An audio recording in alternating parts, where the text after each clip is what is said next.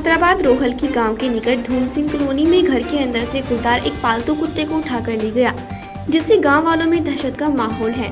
CCTV footage से गुलदार की दहशत का साफ़ पता चल रहा है। कोई बड़ी अनहोनी भी हो सकती थी।